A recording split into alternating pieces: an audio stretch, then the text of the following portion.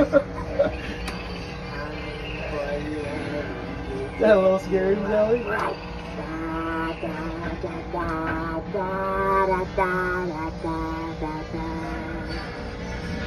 That's cool.